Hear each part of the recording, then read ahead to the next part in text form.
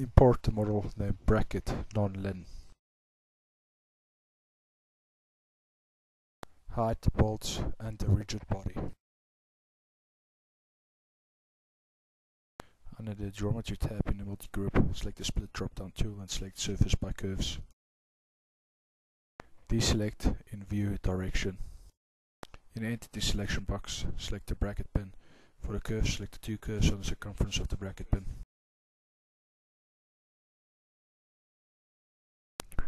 For curve in the circumference, select OK. Select the meshing tab, select the solid mesh tool, select the bracket. Define a mesh size of 3.5. The automatic settings are sufficient and do not have to be changed. Select the element finishes to display mesh quality. Deselect when done. Remember that a solid mesh quality cannot be improved by the refine tool. To improve the quality of a solid mesh, a different technique should be used. Save the model in an appropriate folder. Navigate to the Materials and Properties tab. Create an isotropic material called steel with the given properties. Young's modulus of 207 GPa and Poisson's ratio of 0.3.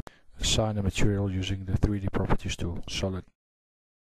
Name the property, bracket, select all the elements, select steel from material dropdown.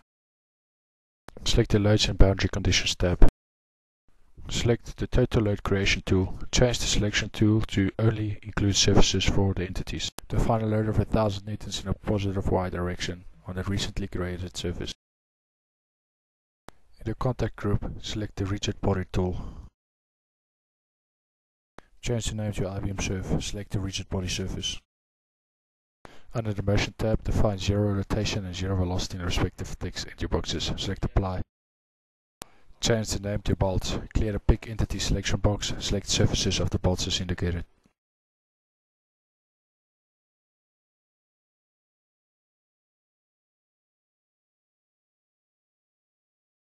Select OK. Select the deformable body contact tool. Change the name to bracket. Select the bracket and select OK. Now we have to assign the contact bodies to a table in order for the solver to solve the problem. Select table in the contact group. Change the name to contact table. Notice that the pre-assigned values in the table is a T. T defines touch. In this analysis we do not want the body to be in contact with itself. Select deactivate diagonal, select OK.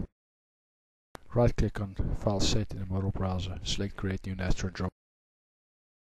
Change the job name to bracket non-len. Save the solver input file in the same directory as the SimXpert file. Change the solver type to Sol400. Select OK.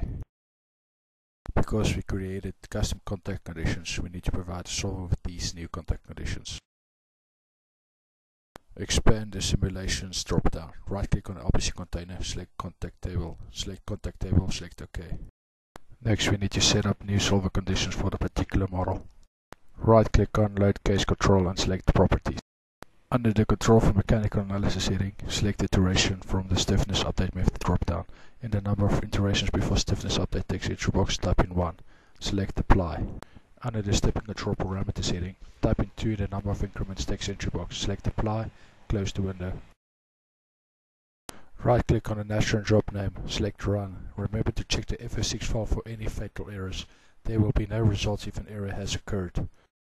Attach the op2 suffixed file. Notice that as nastran.exe window opens, do not close this window. Select the Results tab, select the information. Select DAM1 and select Displacements, Translational, select Update. Navigate to the Deformation tab. Change the relative deformation to 5. Make sure the rigid body selection box is not selected. Select Update. Deselect the File Set option box. Change the plot type to fringe to plot the stress tensor von Mises stress. Reselect the file set option box and select update. Hide the contact condition in the model browser.